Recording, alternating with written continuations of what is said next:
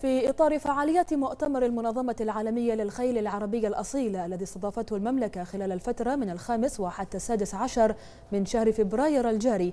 وأقيم تحت رعاية ملكية سامية من لدن جلالة الملك المفدى اختتمت في قرية البحرين الدولية للقدرة منافسات بطولة المغفور له بإذن الله تعالى. سمو الشيخ فيصل بن حمد الخليفة لجمال الخيل العربية الأصيلة.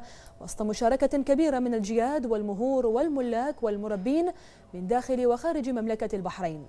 وشهد اليوم الختامي من الحدث حضور سمو الشيخ فيصل بن راشد الخليفة نائب رئيس اللجنة المنظمة العليا للمؤتمر رئيس الاتحاد الملكي البحريني للفروسية وسباقات القدرة والسيد بيتر بوند رئيس المنظمة العالمية للخيل العربية الأصيلة وعدد من أعضاء اللجنة التنفيذية وأعضاء الجمعية العمومية من الدول المشاركة.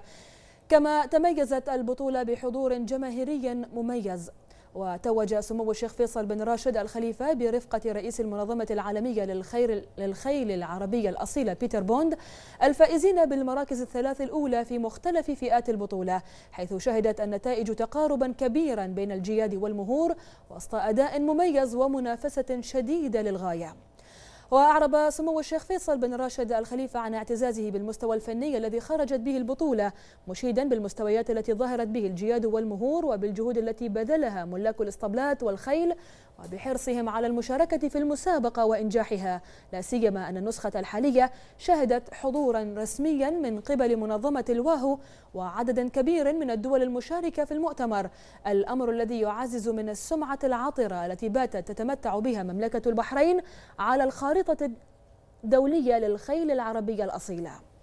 وفي ختام البطولة تبادل سمو الشيخ فيصل بن راشد الخليفة دروع التذكارية مع رئيس المنظمة العالمية للخيل العربية الأصيلة حيث جدد الأخير شكره وتقديره لمملكة البحرين على النجاح الباهر الذي حققته من خلال استضافة المؤتمر العالمي للخيل العربية الأصيلة مثمنا في الوقت ذاته الرعاية الملكية السامية للحدث ومقدرا الجهود التي بذلتها اللجنة المنظمة العليا برئاسة سمو الشيخ عيسى بن سلمان الخليفة نجل سمو ولي العهد واهتمام المباشر في دعم مسيرة الواهو.